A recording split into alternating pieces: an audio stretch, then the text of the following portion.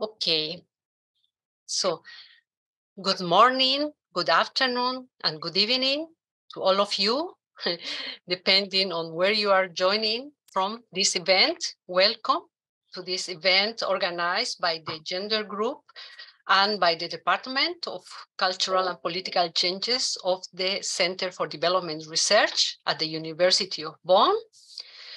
Uh, please kindly note that this event is being recorded, so you are more than welcome to open your cameras, please. If not, it's, it's uh, your choice.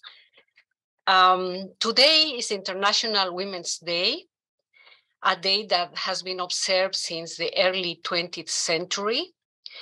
Um, and that was a strategy uh, to honor the women movements of women's rights uh, established by socialist women in Europe, women who were fighting for better working conditions, the rights to be elected and to elect, the right to education, and other rights that were denied to them. And more than one century later, the struggle continues.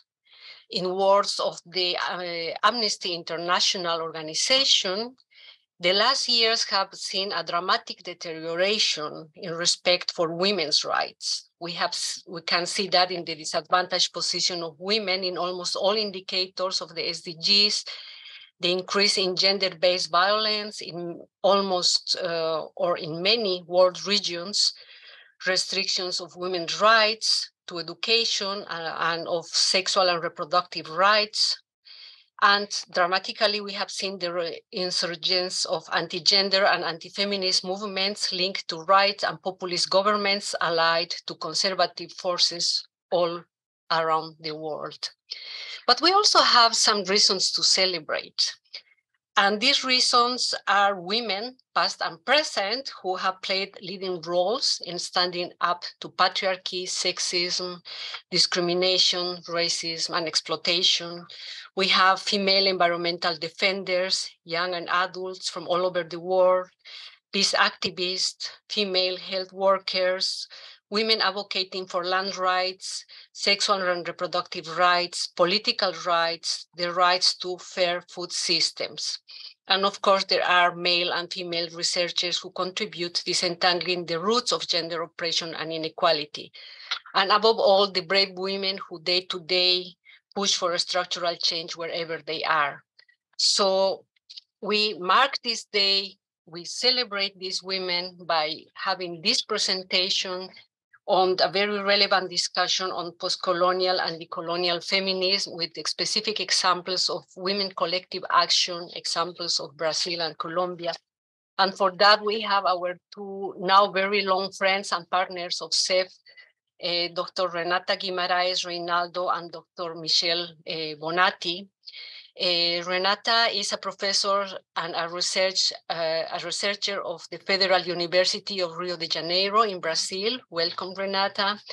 And Michelle is a lecturer at the Humboldt University of Berlin on environmental policy and sociology, and the deputy head of the SUSLAND group at the Leibniz Center for Agricultural Landscape Research.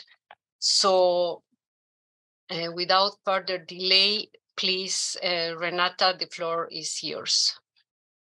Thank you very much, Denise. Sorry, thank you everyone. Uh, it is a great, great pleasure to be here today to talk about our research in this so precious and valuable space for us to, to discuss, especially about in this important day that we have to, to recognize uh, the accomplishment, but also the challenges we still need to face in this uh, so difficult context as as Denise presented so well. So our presentation today uh, is going to be focusing on our uh, latest, latest research. Uh, so me and Michelle, my colleague, we are going to present uh, two case studies we have been working on lately in the last years.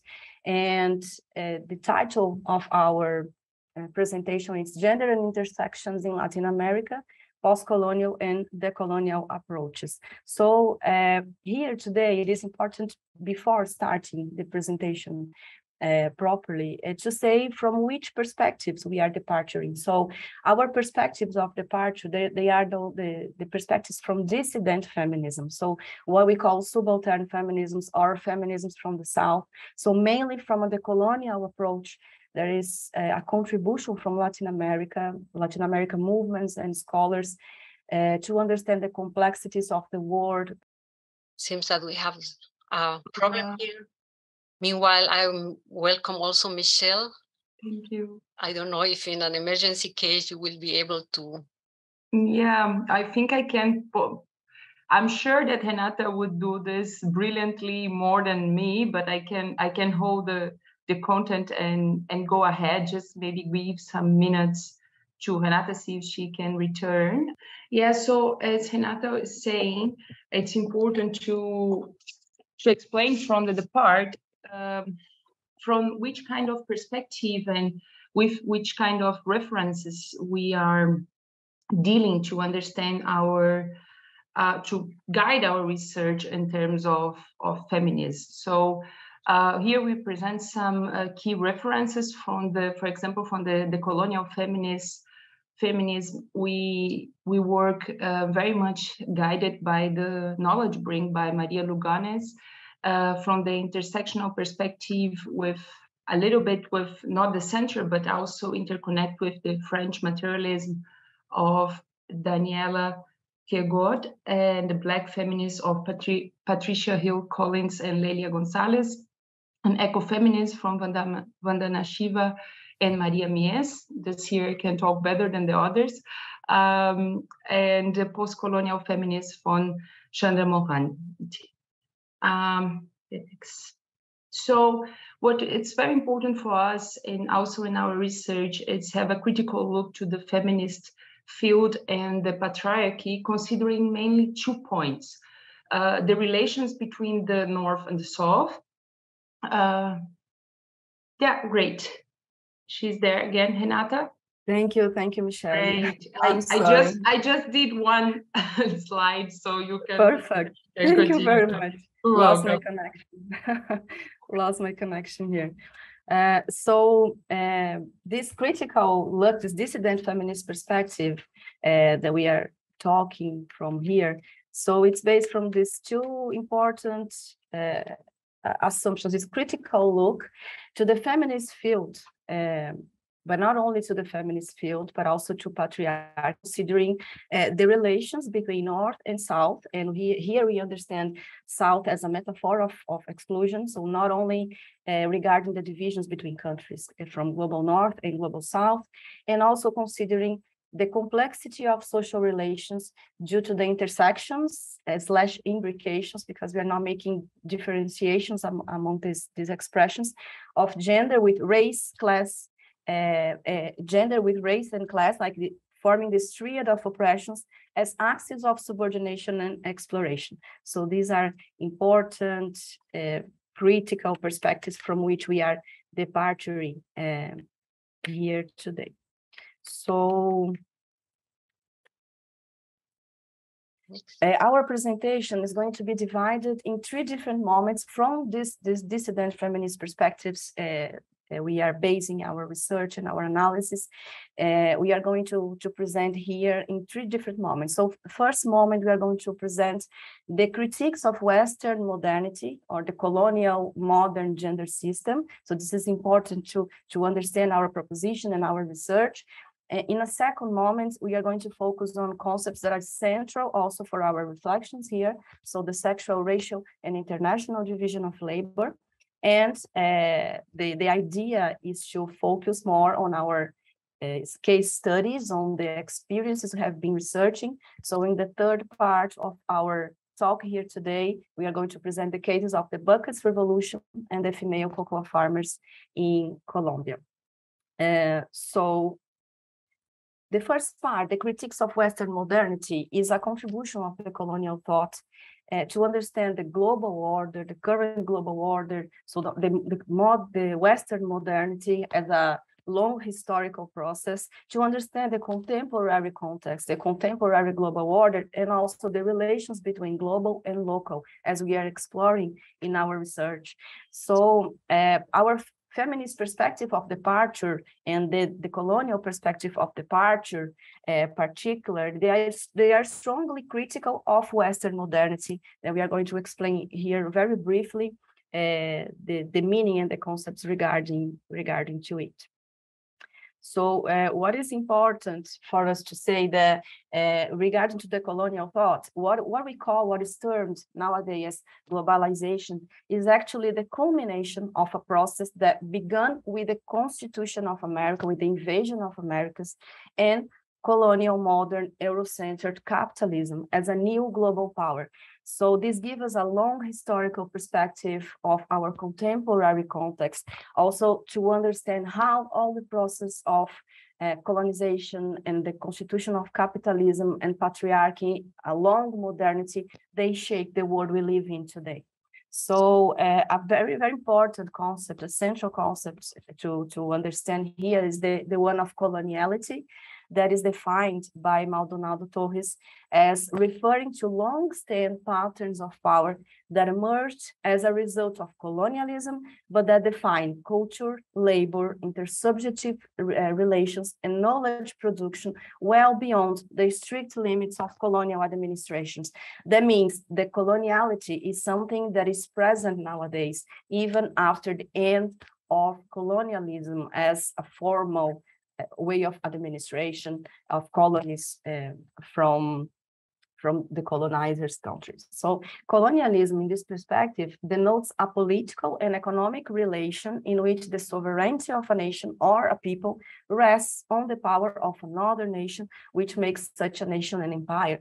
So this is very important for us to understand that for the colonial thought, coloniality shapes the world nowadays and influences the world nowadays, even after the formal end of colonialism. And this is central for our reflection and here today. So going further, in that sense, Western modernity for the decolonial thought is a long duration project of domination whose darker side is coloniality. So the idea is to show that what we call modernity or Western modernity or Eurocentered modernity, Euro-Anglo-centered modernity uh, it also, also actually has uh, a darker side, a side that is often uh, invisibilized, which is coloniality. So uh, the idea is to show, to, to make visible the coloniality as the darker side, side of modernity. So that's why the expression modernity slash coloniality is so, uh, modern, uh, modernity slash coloniality is so essential for us here today. So uh, this to say that the contemporary global order is fundamentally shaped and permanently reshaped by the imbrications or the interconnections, the intersections of global capitalism, patriarchy, that we understand here as masculine domination, exploration, and coloniality or neo-colonial relations, as some, some feminist authors uh, call. Uh, and these imbrications between capitalism, patriarchy, and coloniality conform what we have as a global matrix of power, in the words of Patricia Hill Collins, or a colonial modern gender systems, in the words of Maria Lugones. So uh, this colonial modern capitalist patriarchy sustains and perpetuates the structural domination and exploitation of women, particularly poor racialized women from the South through the sexual, racial, and international divisions of labor. So just to, to uh, finish this first part of the presentation with this important assumption, it, it is to understand that this imbrication, this global matrix of power creates global hierarchies through the axis of subordination of gender, race, and class that we are highlighting here. And the implications of this axis of subordination, they are sustained and they perpetuate the sexual, racial, and international divisions of labor that also operate in imbricated, in interconnected ways as we are, as we are arguing here as well. Uh, so that said, we then are going to pass to the second part of our talk here today. Can you can you hear the can you see the the presentation properly? Yes. Yes. Okay. Uh, okay, so now the second part is the sexual, racial, and international division of labor that, as I said, are important concepts for us to understand the, our research and the intersectional feminist account of Western subordinate Western subordination of, of women, as we are arguing here. Uh, okay, so uh, I brought here, we brought here a concept of Danielle Kergoat, uh, of first to understand the sexual division of labor. And uh, in her understanding, the sexual division of labor is the form of social work division that arises from social sex relations. That is, there are this division of work that is based on a naturalization, on a biologization of, uh, of social practices. So this is a very important point for us to understand. The argument is biological, but of course we are talking of social practices as we stress also uh, in our perspectives. So, uh, of course, this is like an architectural concept, but although the modalities of sexual division of labor, they vary strongly in time and space, and they can only be understood in the local context, uh, adapted to each society, to each historical context, it is important to understand that the sexual division of labor in capitalist societies since the the, the, beginning of industrial capitalism maybe is based on two organizing principles. So the principle of separation that divides what is understood as work of men and work of women. And also there is the principle of, of hierarchization. So there is this division, but also uh, the creation of, of some kind of hierarchy in which the work of men has more, more value than the work of women in these uh, social constructions. So uh, the, trans so the transition here uh, in her words, so the sexual division of labor is characterized by the priority destination of men to the productive sphere of life and of women to the reproductive sphere of life, and simultaneously the attribution of men to the functions of strong added social value like political, religions, and military social value. So this is very important because uh, sexual division of labor is still very present, still shapes and reshapes the structures of societies under uh, the, the, capitalism is still nowadays. So uh, it is important from understand from this concept uh, first that the productive sphere is sustained and reproduced by the reproductive sphere. So there is this, this work, this invisible, undervalued work that is not even recognized or perceived as work and often uh, justified by emotions or love or the myth of maternity and many uh, social constructions. So this invisible non-paid work of women in the household is actually what sustains the productive sphere uh, and also sustains the female subordination still nowadays. And also the sexual division of labor is also reproduced in the labor market. So we have more recently the divisions between male professions and female professions, also regarding to gender roles and also uh, representing a devaluation of female professions of, of female work.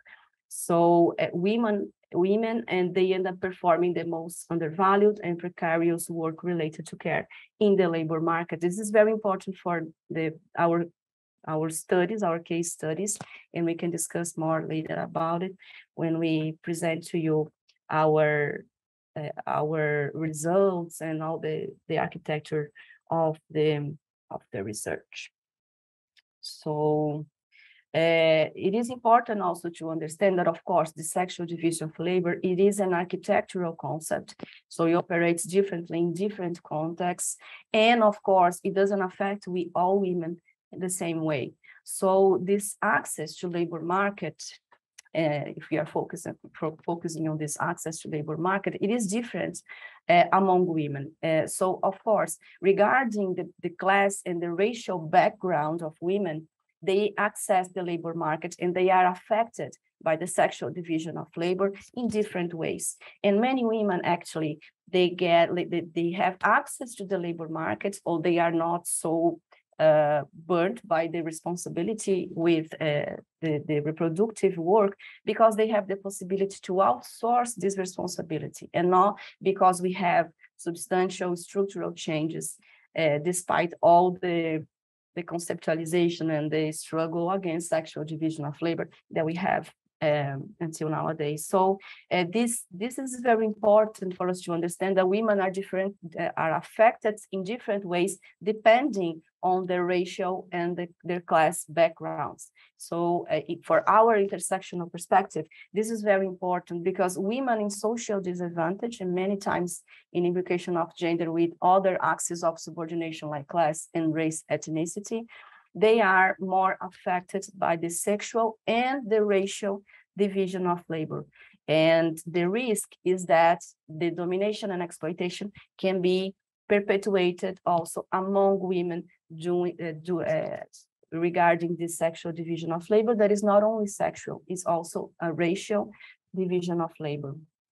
So uh, in the words of Flávia Biroli, which, uh, which is a Brazilian researcher and thinking about these intersections, uh, the sexual division of labor is anchored, as I said also, in the naturalization of relations of authority and subordination that are presented biologically based and are racially justified. So race is very, uh, it's a very important element to understand concepts as the concepts we have in, in Latin America, Brazilian context, and the Colombian context as well, that we are going to talk a bit more, a little bit more later.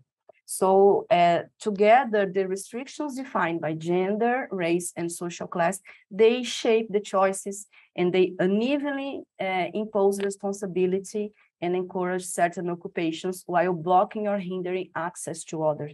others. That, that means to say that different women regarding the class and race background, they occupy different social places um, and they can be more or less impacted by social, sexual division of labor in intersection with uh, racial division of labor.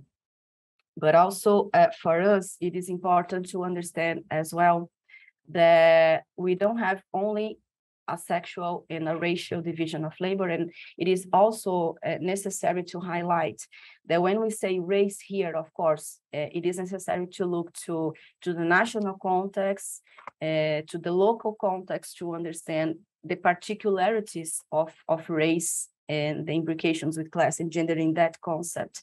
But we also talk uh, about race on a global level, on a macro level, understanding the processes of uh, colonization and enslavement that actually has as a result the phenomenon uh, the phenomenon of racism, racism in local concepts. So I, I believe this is also uh, important to, to, to explain and to stress. And we can also talk a bit more later about these relations between the global and the local, which we explore in our, in our research.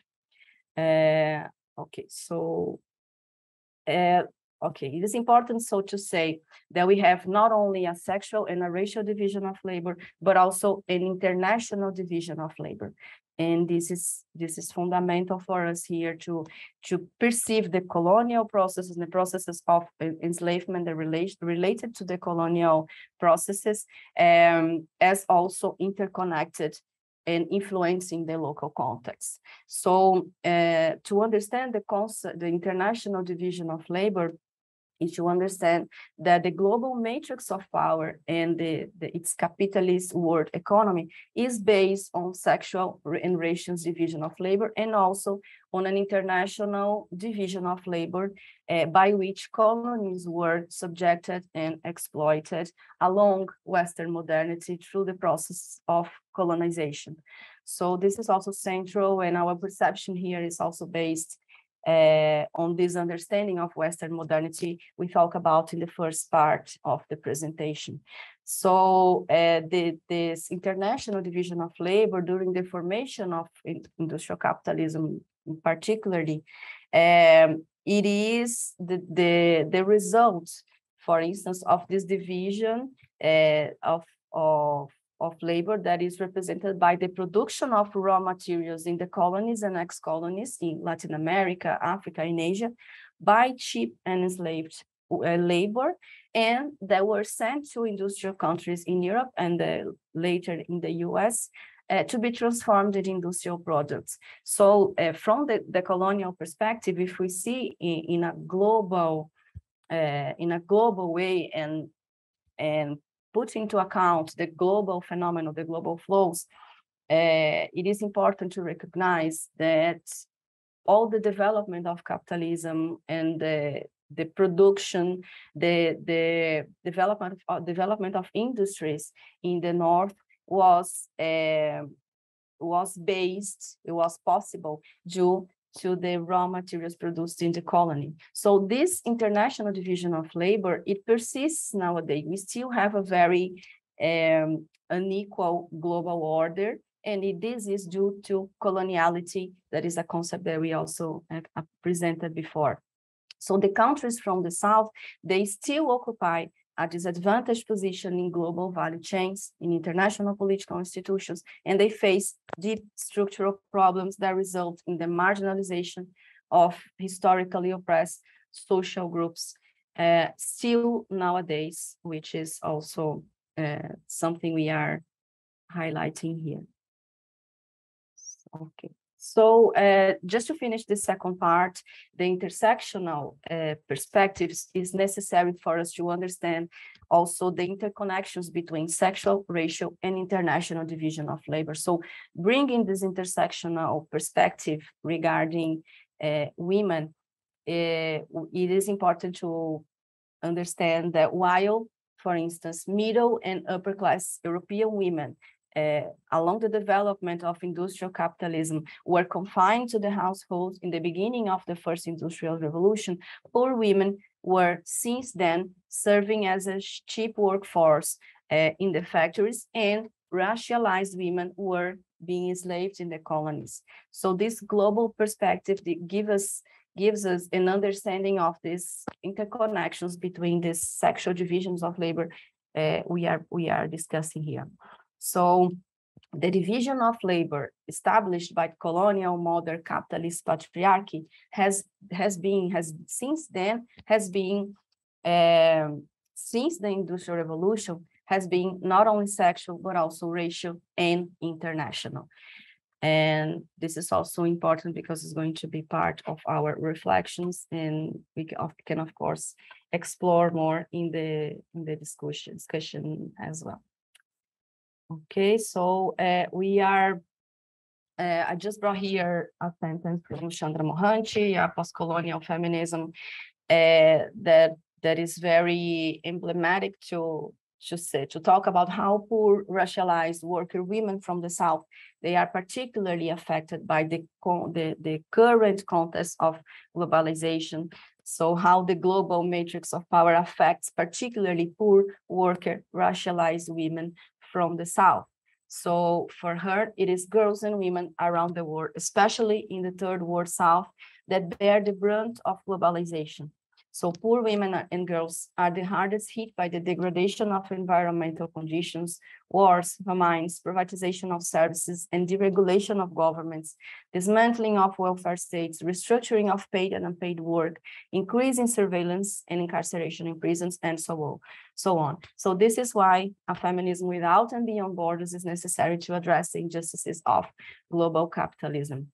So we are going to explore this, this idea and to talk more about this uh, in the concrete cases, concrete cases, our case studies that we are going to present then in the last part of our talk here today. Okay, so uh, we are going to present two case studies that have been the object of our research lately. So we've been researching uh, them for, for a while, and I'm going to present the case of the buckets revolution, and Michelle is going to present the case of female cocoa farmers in Colombia. So uh, first talking about the buckets uh, revolution, the buckets revolution. So the, the title of this work, which is still in progress, so feel free to make the dialogue and contributions for, for the discussion. So the, the title of this, this work so far is Women of the Revolution and Politics of Care. So we are proposing a gender intersected approach on an initiative to address social, social environmental problems in a marginalized country in southern Brazil. So we are talking about the city of Florianopolis and a marginalized community in this city. And it is, as you can see, a collective project. It was written by me, but it's, it's a part of a bigger project, SUCOM project, that is part of ZALF. And Michelle can also talk a little bit about it later. And we are co-authors in these papers along with other researchers from different areas, which makes this a very interesting interdisciplinary and international project of research. So uh, the buckets revolution, uh, it is going. So just before talking about the bucket revolution, just to highlight that the, the project, it's called, the, the research project is called SUCONSOL, Socio-Ecological Innovations of Communities in the Global South, and it aims to investigate the socio-ecological impacts of the buckets revolution. So we have many different perspectives and colleagues working from us from different areas and it, the project is part of the work group Sustainable Land Use in Developing Countries, SUSLAND, from ZALF. So uh, the Buckets Revolution, it is, it is an initiative uh, arising in 2008 in southern uh, Brazil, uh, in the city of Florianópolis, the state of Santa Catarina in southern Brazil. And the buckets revolution was uh, initiated in, in a marginalized community in a favela in the city of Florianopolis, uh, mainly uh, led by women in the community. So uh, the, the initiative started because of a very difficult and a very challenging social ecological problem because they have an outbreak of rats and cases of leptospirosis in the community. Sorry, I'm not just not. I'm not getting to pass to the next. Ah, okay, it's a, uh, it's just a bit slow, but it's it's going. So uh, it is it was led by women. It's still nowadays led by women by by in a black territory that is important also to say so this marginalized community is a black territory of course in the context of, of brazil but we are also here intending to connect this local level to also this perspective of the global level, this global matrix of power. So this is important to understand the relations between global and local. So uh, the Buckets Revolution is a waste management initiative that was implemented through a network of people in this community, this marginalized community, along with local institutions. So it is actually based, it was initially based on a composting system so to to resolve the case of the the rats outbreak and the leptospirosis cases, uh, they started to make this, this waste collection in the community, the organic waste uh, mainly, to, to avoid the problem because the problem was in fact created by the lack of public care because the community didn't have the waste collection in their territory. So uh, they started to collect this organic waste and to make this from the with the help of the university, they implemented this composting system um, that helped with uh, to, to, solve this problem. And a long time, other initiatives uh, came from the buckets revolution. So beyond the composting system, they now have the mother kitchen, they have the thrift store, they have the, uh, the creative sewing workshop. And that is also very interesting because as women are leading the initiative, we can see the gender roles in the initiative, but also they are proposing a totally different and uh, and I, I could say revolutionary perspective to care that is important for us to understand here. So these women, uh, they led, they still led, they still conduct the initiative nowadays, and they implemented and are still conducting it to resist their condition of intersected subordinations in this Black territory. So it is also important to say in this sense that Black women, because of intersectional uh, intersectional subordination, the relations between gender, sex, and race in the Brazilian context, they occupy the basis of the social pyramid. And the Black territories, they are particularly, they occupy a particularly uh, challenging place of marginalization in Brazilian society. So uh, these intersections of subordinations, they affect particularly these women and particularly uh, this, this community. So the fact, for instance, that there was no sufficient waste collection, it is um, it is emblematic for us to understand this place of marginalization that Black communities occupy in Brazilian uh, society. So from this context, uh, we have uh, here the, the, theoretical basis, and I'm about to finish to, to pass to Michelle, but just to present for you the architecture of the work, and we can also uh, please keep talking about uh, about it in the discussion, but it's I, I believe it is important in accordance with what we, what we have been discussing here so far, that we are basing the, the, the perspective, the reflections on, of course, intersectional perspectives uh, on dissident feminisms and intersectional perspectives centered on gender and interconnection with race and class mainly. So, uh, of course, the work of Maria Lugones is important for us here, but also uh, are very important, the works of Patricia Hill Collins, Lélia Gonzalez, Angela Davis, so uh, Chandra Mohanty, Avtar Brah, and Angelica Goa. But Patricia Hill Collins and Lélia Gonzalez mainly, uh, they talk about this triad of oppressions. They talk about the relations between race, class, and gender in contexts marked by colonization and enslavement. So uh, they are very important to understand this particular case we are we are studying with the bucket revolution. Uh, so uh, our perspective here, I think it is very important also to say our intersectional perspective here, uh, okay, it is based uh, not in a fixed understanding of intersections. And of course, we are talking about social places, but we understand that these intersections, they are fluid and they need, they need to be understood as fluid, not as um, as a fatal destination, but as social structures that have force, of course, they have their strength, but they have been challenging uh, since always through the resistance of these women that are particularly affected by these intersections. So I think it is important to say because there are many different perspectives on intersectionality inside the feminist field.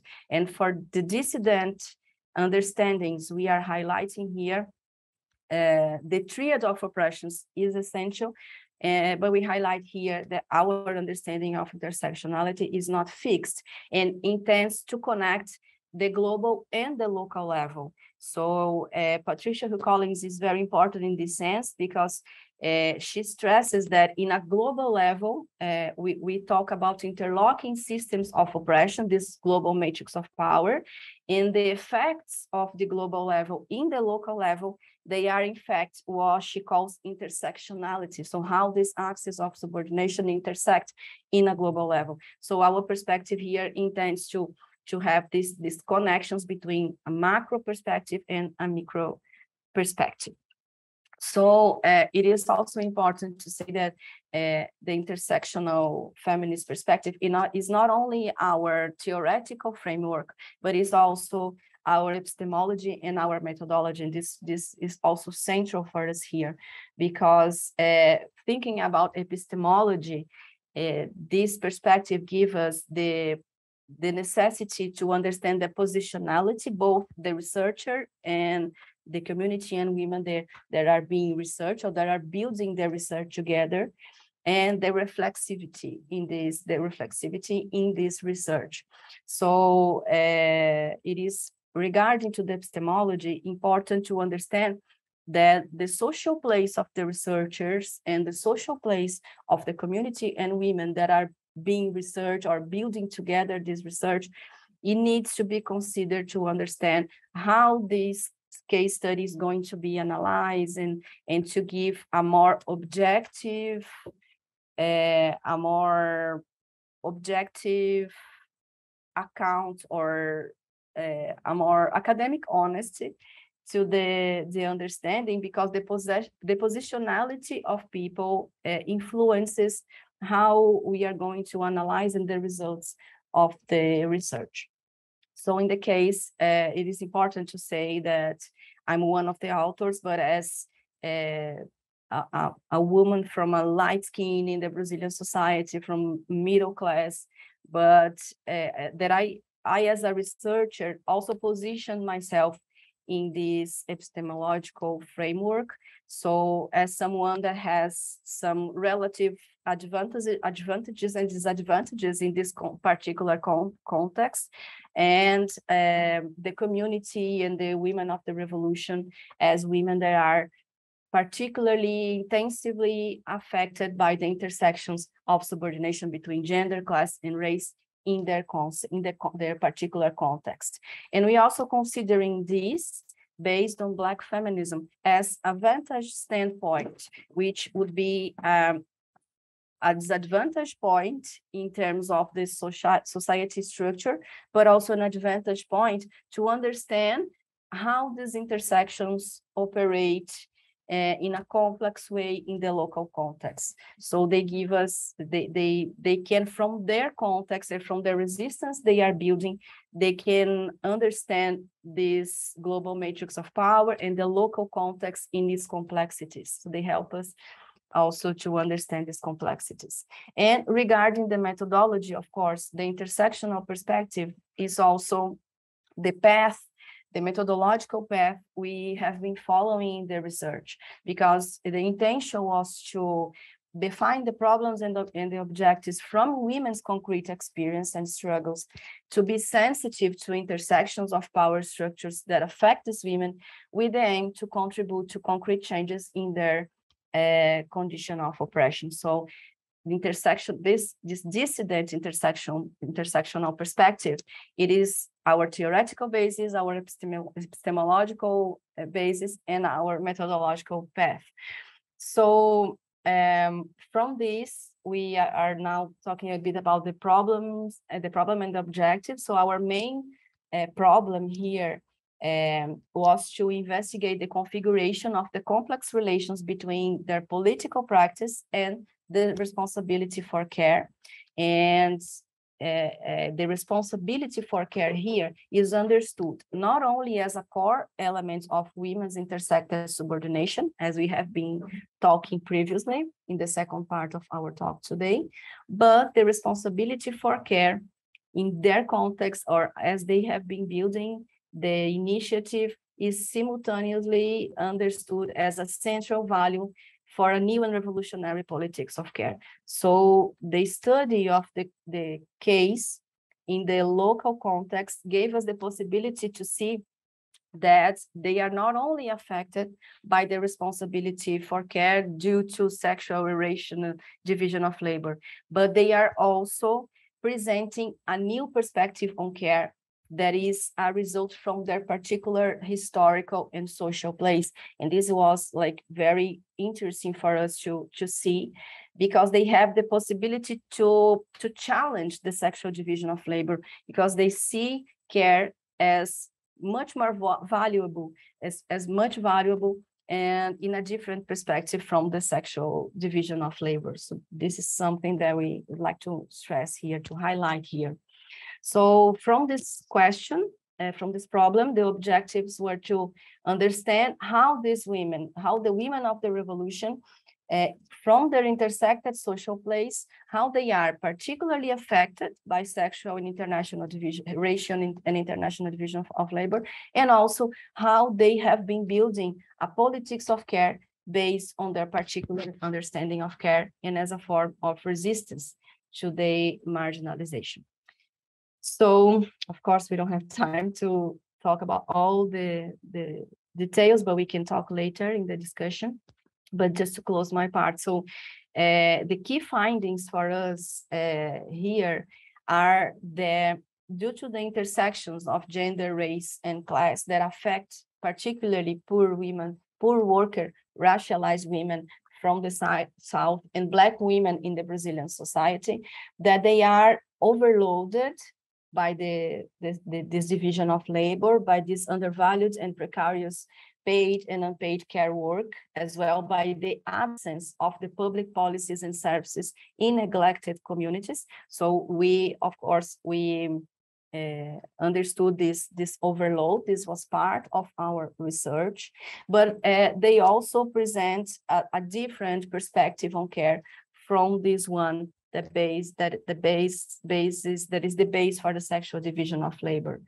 So uh, this this presents some kind of uh, of possibility to to transform and, and to change the way we perceive care uh, in Western societies, because at the same time, care is seen, uh, it puts these women in their social place in a, in a place of disadvantage, of subordination, but at the same time, it is a humanizing factor, especially in Brazil, in contexts like Brazil, for Black women uh, in contexts marked by the violence of enslavement processes. So care for them regarding because of this history of pain and suffering and all the, the horrors we have with the colonization and enslavement, uh, they, they didn't have the possibility to care for themselves. So they, they perceive care on a humanizing perspective and they bring this humanizing perspective, this, this uh, this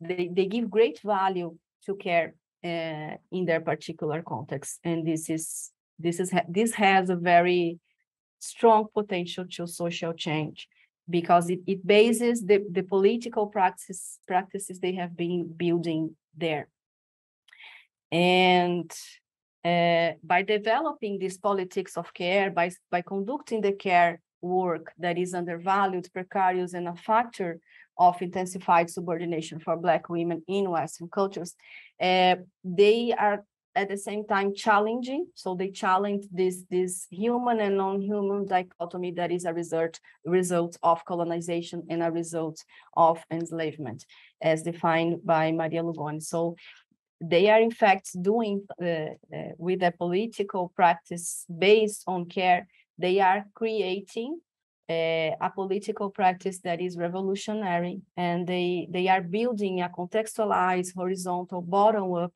care-based counter-hegemonic alternative to address the social environmental problems resulted from the intersex intersected subordinations in the Brazilian context. Well, and that's it. Of course, we have a lot to, to talk about, but I'm I'm I'm extended my talk too much, so I'm going to pass to Michelle, and we can talk more, more about it later.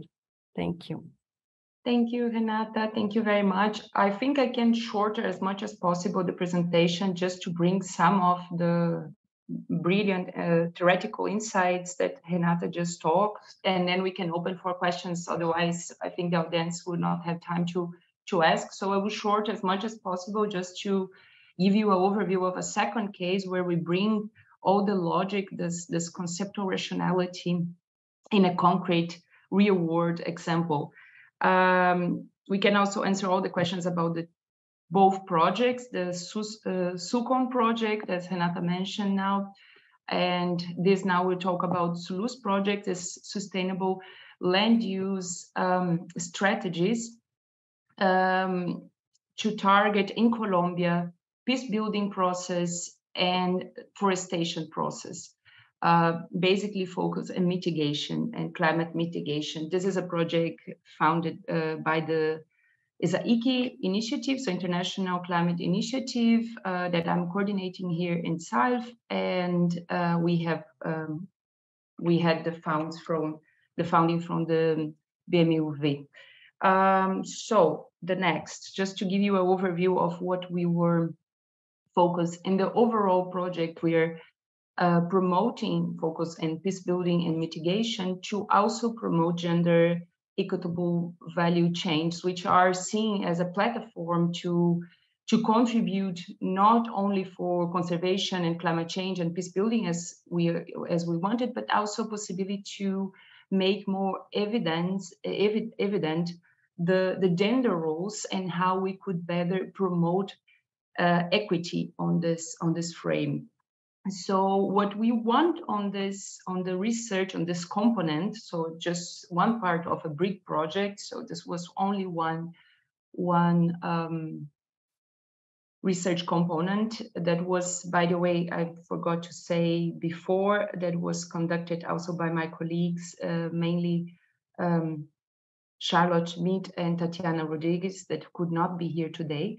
And what we want there was uh, understand the gender, do a, a gender-based analysis of the role of the farmers and the Colombia cocoa value chain.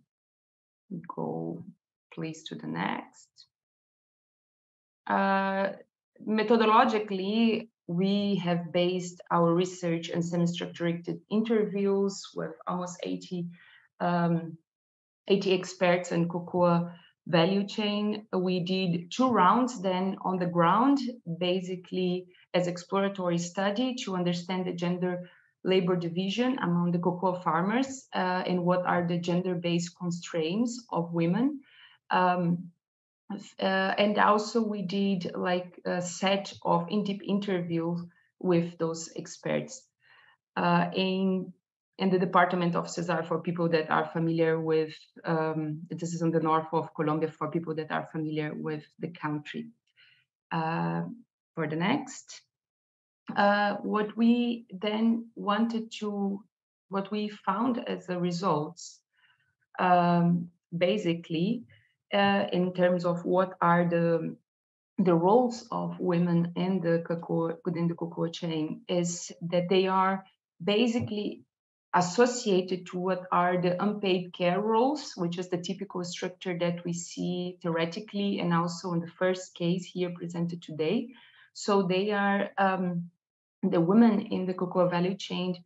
They are basically responsible for, for the harvest and the post post harvest activities, uh, but also for the fermentation and the drying process, which are normally the which follow very much the principle of what Kergoat women are here associated to the are very much example of the principle of separation and the principle of hierarchization. So those kind of activities are the one that are first of all they have a role. So the, those are the work of women, which is not mainly the production, uh, but yes, the processing part of the of the value chain, but also the hierarchization, because here the men, the work of men value more than the men, the work of women. Those uh, kind of activities are also um, the ones that are normally not targeted by most of the projects, since the projects um, normally also the agricultural projects, and that's the context what I'm what I'm seeing here. There is my my lens. This is mainly uh, agricultural project, sustainable agricultural projects, and most of the projects follow this what Habermas say always as instrumental rationality. So focus in a better production and a more sustainable, more clean production, a more green production. But um, but this many times mask the role of other process, for example, the, the harvesting and the post-harvesting. So we normally projects don't target those kind of, of activities, which are the, the main ones conducted by women. So we suffer here a double process. We have a double, a double process of exclusion, a local process of exclusion because the production is associated to men, which normally is also the one that sell the product Therefore, the financial resources are more managed for men, while the harvest and the post-harvest is not associated with receiving the, the financial resources locally. So we have a double process of exclusion here, as well as we also do not see association or membership or capacity building programs for this kind of activities. Um, so again, for the uh, yeah, the next. Mm -hmm. um, so we are also as a, as some uh, conclusions and to be very short in our, our presentation, uh, very quick in our presentation. Uh, what we what we mainly focus here also as a recommendation and conclusion is that developing projects and with especially with this agriculture uh, background have to rethink the, the rationality, avoid to continue following the, the, instrumental rationality, which normally focus on productivity and mark assets, because this exclude more of uh, exclude the most of the women roles and is, is taking here the example of the cocoa chain and also focus to and the gender the gender differences the gender roles and foster the capacities to to properly um, to properly do the process itself technically, but also to recognize and enhance the role of women um, of the farmers and the women farmers and the and the cocoa chain, uh, which was the case here, but it also can be exemplified with other with other examples. And we focus very much here on the gender here, although we had the overview of intersectionality, and also understanding that the, the whole cocoa chain has itself uh, international uh, division, uh, since that mostly the countries, the global south is producing the cocoa while the, the most valued chocolates are being processed by, by the north. Although it has been questioning, it's still the operant modus of production and certainly also a rational role here playing a role, although in this research we focus very much on the gender role. Um, the next, I think I just already mentioned that we are founded by the by the initiative, and I think this is a very interesting perspective for the both cases here. One, it's an internal project that SUCON is an internal project that gives us also more flexibility to focus on different um, kind of approach and understanding and theoretical background. And while the second case, it's uh, has to follow much more the, the instrumental rationality and play along with this, although trying to propose different things. I think that's all. Thank you very much. Okay, thank you very much, Renata and Michelle. This is, has been really great. Thank you for this very holistic presentation, very comprehensive about the theoretical parts of gender constructions, social uh, sex relations, practices, intersectionality, and of course the two very well explained case studies. We have called to this meeting till 12.15, so we still have some time. So uh, if any of you has comments, uh, please just uh, raise your hand. Uh, if you have a question, something to discuss. If not, I would very much would like to start shortly. I don't see any hands so far. I would like to start with a, mm, a, conceptual question to both of you, Renata and Michelle, and maybe something more out of curiosity, considering that is International Women's Day. The conceptual um, question is that the issue of race is very much um, discussed by um, Black feminism and, and not by feminism in other areas of the southern parts of the world. For example, in Latin America, the issue of race is very much rejected, and uh, the issue of ethnicity and more sociocultural backgrounds are more uh, reivindicated, let's say. How you solve this and how you discuss that in Brazil and the other question that is more general is what, what are your experiences at the universities in Brazil trying to advance this post-colonial and the colonial perspective, given the backlash of anti-feminism and anti-genderism, um, conservative movements, particularly those promoted by, by the ex-Bolsonaro president. So these very two, if you can go very short, please, so there is also space for others to ask questions. Thank you. Of course. Thank you, Denise. A very, very important questions. And um, we focus particularly on Black feminist contributions because of the uh, the, the, case of the buckets revolution mainly it, it, it demanded uh, from us this perspective so uh, black feminism for, for us was fundamental regarding the the the racism racism as, as a a phenomenon that is a result from colonization and enslavement.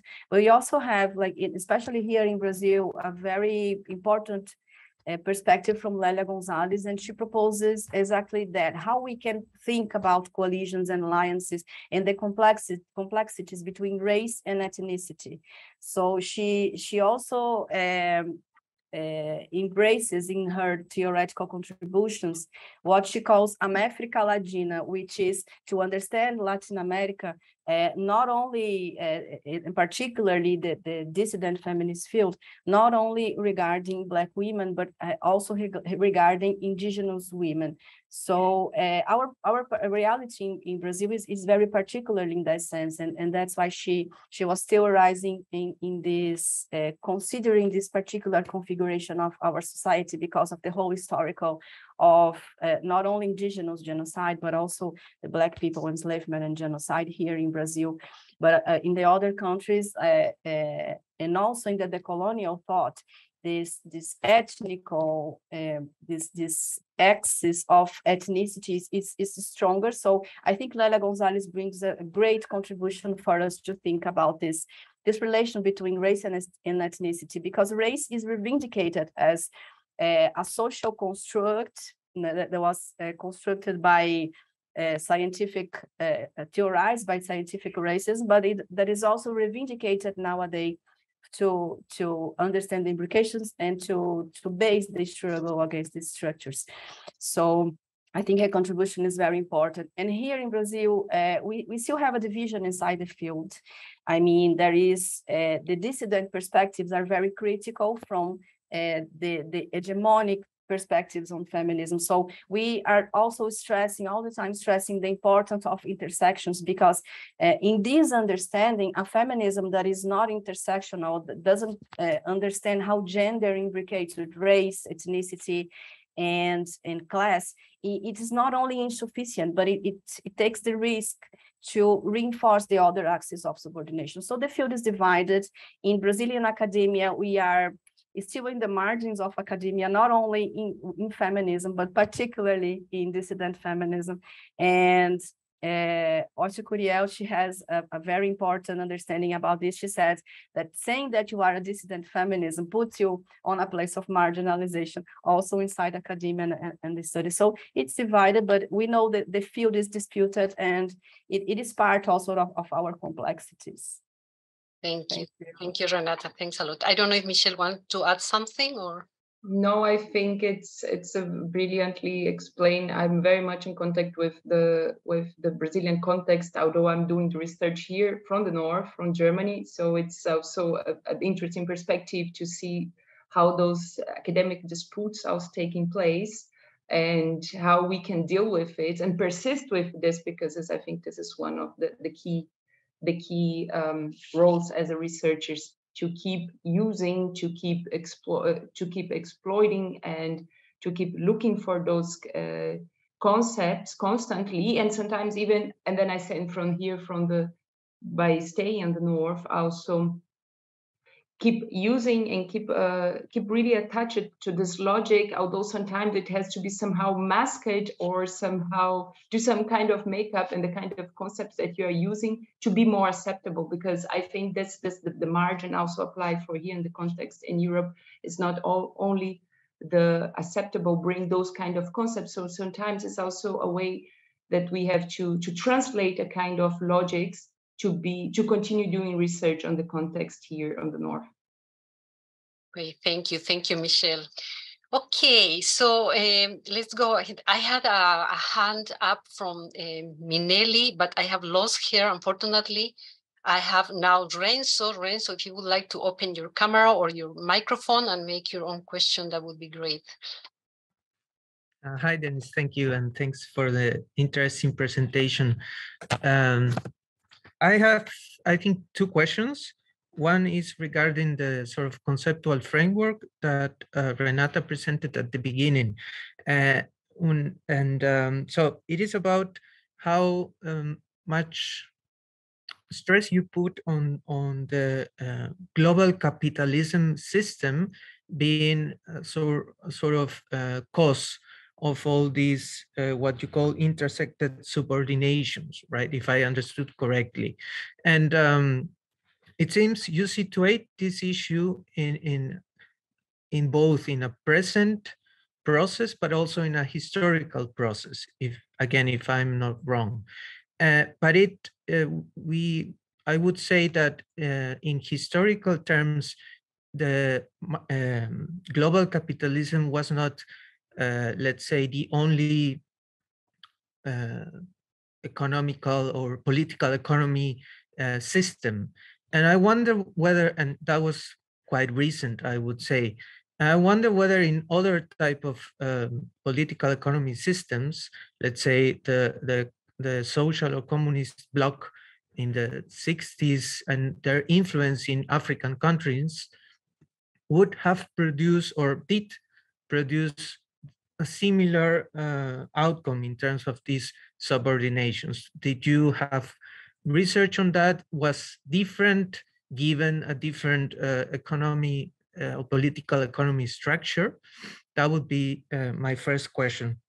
And the second question is more related to the second part of the presentation, which Michelle uh, presented. Um, and my question would be, since we are talking of uh, about value chains, which are part of uh, yeah the global economy and so on, what what are the structures that might be reproducing the patterns of uh, intersected subordination and how to avoid them in these uh, value chains to i mean let's say how to fix um, global capitalism mm-hmm. from the perspective of feminism and uh, justice and so on.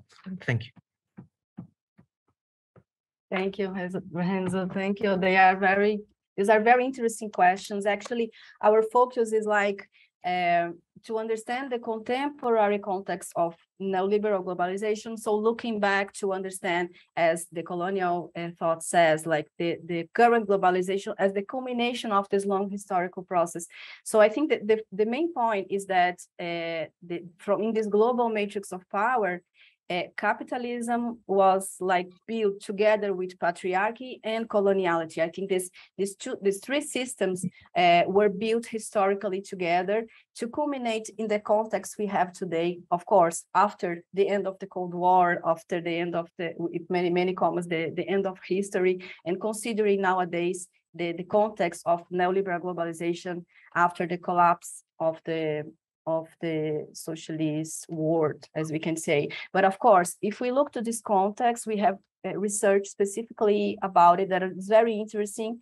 Uh, of course, women subordination, it is, it doesn't start in modernity, as we all know, but uh, the understand is the, the intention is to understand the modern roots to the, the current context of uh, neoliberal globalization or corporate globalization that we have today. If we look particularly to the, the this uh, socialist experience, for for example, we can uh, we have interesting studies to show how uh, women's subordination happen happened also in these contexts, in these complexities, because it, it, in every situation, of course, is going to be complex, and we have many forms of subordination, sometimes perpetrated by the state or by the market.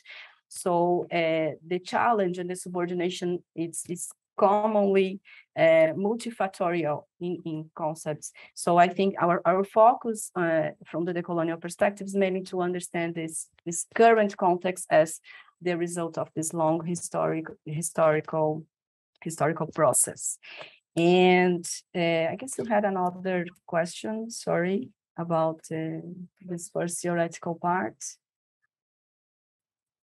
not sure if I'm uh, addressing uh, everything. no, yes, thank you. You did for the first part. I actually uh, uh, thought uh, Michelle could answer the second question. She, since yeah. she's more into uh, the value chains issues. And my question, if if I don't know if I have to repeat it, but you don't okay. need to repeat. I remember very well because it's a quite impressive question. How to fix the global capitalism? I even took a note here. Say, oh my God, this is a big question. How are we gonna how are we gonna answer it?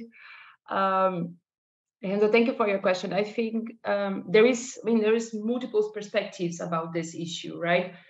Um, I think when you think about value chain, it's just show very much this structure of domination, not only in, in cocoa in this case that I present, but in many of the products, we still have the logic of importing the the, the prime material and buying the, the processed material. It happens for chocolate, for example.